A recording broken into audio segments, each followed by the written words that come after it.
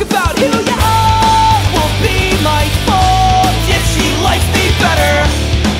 I used to be secure with the means to get the ends. It's like what I always said.